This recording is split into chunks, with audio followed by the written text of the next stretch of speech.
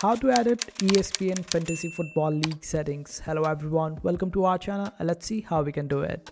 So for this just open up espn.com on your browser and after that just log into your account. Make sure that you are logged in and by going on to the profile section you will be able to find the option of login. Since i'm already logged in that's why it is showing as logout for me. But for you it will show login otherwise you will also be able to find the login settings on the left hand side panel. Just log into your account.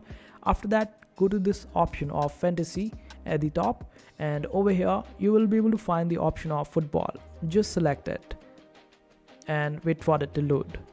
After that you will be able to see all the leagues that you are part of on the right hand side panel over here and you can just simply click on any of the league in order to change its settings and in case if you have created any leak then LM tools will be shown at the top.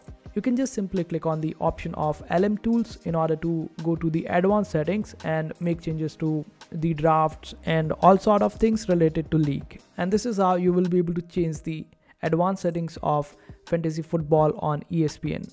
I hope this video was helpful. Make sure to hit that like button and also subscribe to our channel for more helpful videos.